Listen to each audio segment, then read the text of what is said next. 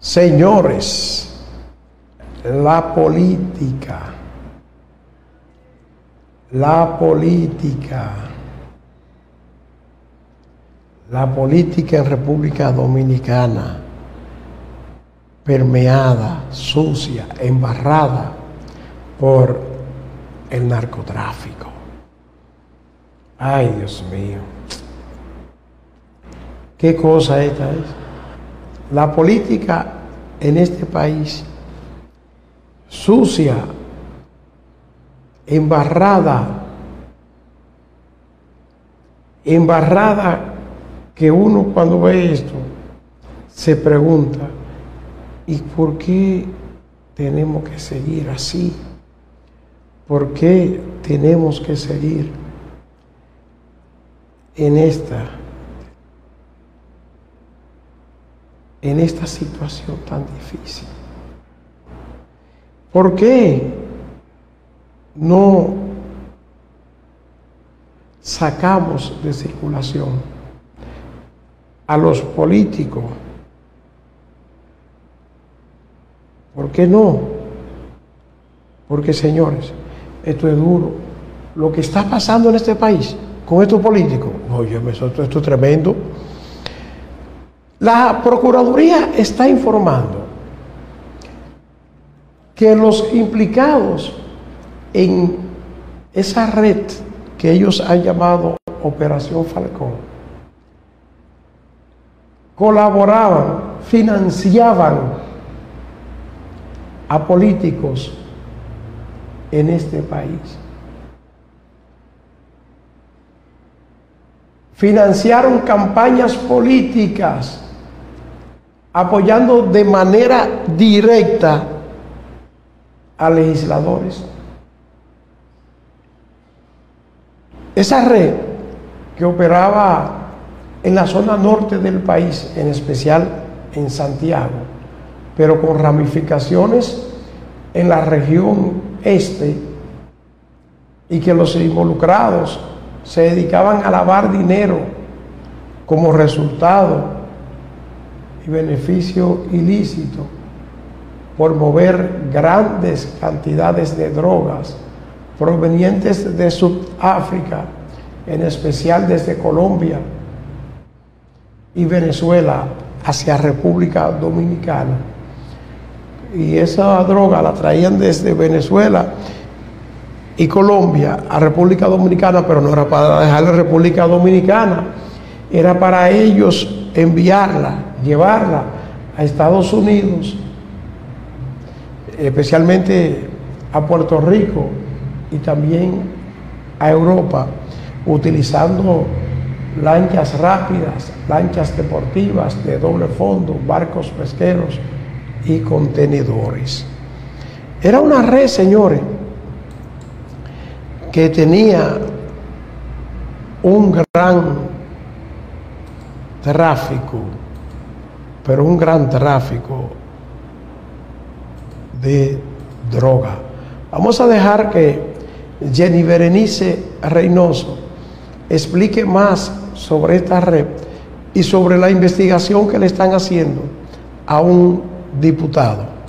Bueno, ciertamente el Ministerio Público en coordinación con la Dirección Nacional de Control de Drogas, así como también con el apoyo de la DEA, ha tenido varios meses en una investigación bastante compleja que incluye alrededor de nueve provincias del país en las que hemos tenido que desplazarnos para hacer aproximadamente 86 allanamientos de forma preliminar, en la que hemos ocupado eh, muchas evidencias, entre ellos cantidades exorbitantes en dólares que por el momento no vamos a precisar porque los allanamientos están en proceso, vehículos de alta gama, entre otras propiedades muy lujosas, estaciones de combustible, más de cinco también se, encuentran secuestradas en quizá una de las operaciones más importantes en contra del lavado de activos. ¿Cuántos Esa Ciertamente, eh, una de las personas que es uno de los extraditables, porque esta operación tiene una parte que hemos denominado los extraditables y otra que se va a judicializar precisamente en la provincia de Santiago porque era el centro de operación del principal autor o director de esta operación criminal. En el día de anoche, en la madrugada, mientras desplegábamos la operación, un diputado, no un senador, un diputado desplazaba en su vehículo a un extraditable que tenía un cerco montado y que entiende el Ministerio Público que este diputado hizo este desplazamiento con la intención de sustraer al extraditable de la investigación, pero eh, el Ministerio Público procedió las autoridades a registro de su vehículo y a arrestar a las personas. Este legislador está bajo investigación y no fue arrestado en, en la madrugada de hoy por la única razón de que tiene inmunidad. Y esa inmunidad impide que el Ministerio Público proceda al arresto del Ya se sabe, ya se sabe, ya se sabe del nombre del diputado. Ahora quisiéramos saber. No lo sabemos. No lo sabemos. Dígalo, por favor. Dígalo, dígalo. Este es el diputado Feliz Feliz. Es un diputado que el Ministerio Público reitera está bajo investigación y procederá en la jurisdicción competente que es la Suprema Corte de Justicia. Y reiteramos que no ha sido arrestado por tener inmunidad parlamentaria, pero eso no impidió que el Ministerio Público arrestara a pesar de estar en su vehículo al extraditable. La ley no hace excepciones y el Ministerio Público que dirige la magistrada Miriam Germán tampoco la hace. Muchísimas gracias. Bueno, señores, es una operación Grandes Ligas. Vamos a esperar que se ofrezcan más detalles de qué era lo que hacían, cómo lo hacían y desde cuándo le estaban dando seguimiento a esta Señores, la mayoría de los casos, ellos lo cometieron, o sea, vienen cometiéndolo desde hace 3, 4 o 5 años, que ya le, le habían cogido algunos cargamentos que lo vinculan a esta red en el 2018, en el 2019. Son varios los eh, cargamentos que fueron capturados y que las autoridades dicen que tienen relación con esa red. Y señala que uno de esos cargamentos fue el alijo de 1.786 kilogramos, que fue ocupado en Puerto Rico en noviembre del 2016. Vean desde cuándo venían ellos. Y otro alijo de 500 kilogramos, también capturado en Puerto Rico en diciembre del 2018. Otro de 722 paquetes que ocupó la DNCD en Boca de Yuma en noviembre del 2018. También ocuparon otro paquete que lo relacionan con esta banda de 569 paquetes de cocaína que fue fueron ocupados allá en la zona de Valladolid. Eso pasó en noviembre del 2018. En febrero del 2019, varios individuos vinculados a esa red de la Operación Falcón ocuparon, eh, les, les ocuparon 254 paquetes de cocaína en el tramo de la carretera El Coral entre el peaje Coral 2 y la rotonda del Distrito Municipal Verón Punta Cana.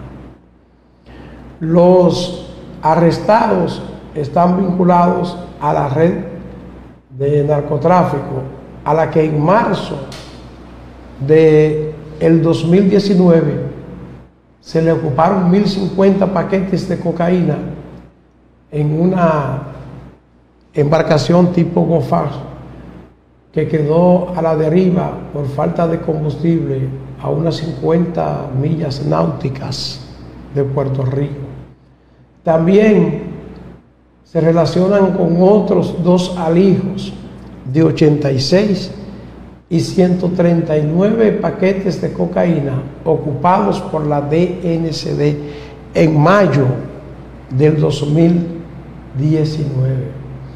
El Ministerio Público hizo los allanamientos acompañando la DNCD y agentes de la DEA.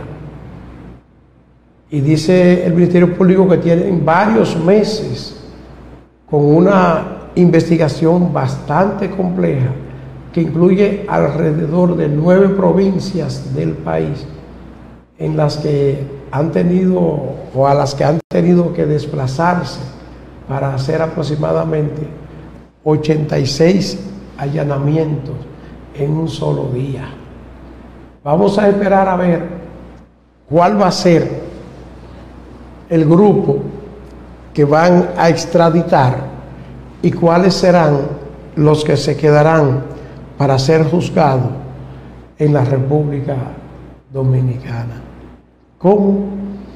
Que si al diputado Félix y Félix lo van a incluir en los que van para allá o en los que se quedan aquí, yo no sé. Que si hay otros funcionarios, sí. Precisamente el mismo Ministerio Público ha dicho que los miembros de esta red de la Operación Falcón apoyaron campaña electoral, estaban financiando con dinero sucio la campaña de algunos legisladores. Y eso está siendo investigado por las autoridades de la DNCD, la DEA, la DEA y el Ministerio Público. Pero también se investiga el vínculo, el vínculo de esta red con algunos dirigentes del partido de gobierno y también con algunos funcionarios. Ya hubo un funcionario que fue Maldonado, el director de Comunidad Digna, que tuvo que ser despedido o suspendido porque fue apresado en esta operación. Pero hay otros funcionarios que se están investigando. Y a la medida que avancen las investigaciones, más gente van a ser involucrados, incluyendo gente del partido de gobierno y del gobierno. Que ya Abinader ha dicho que no hay vaca sagrada, por lo que se espera que en cualquier momento otro puede ser, otro otros funcionarios pueden ser apresados otros funcionarios podrían ser apresados. Ay, ay, ay.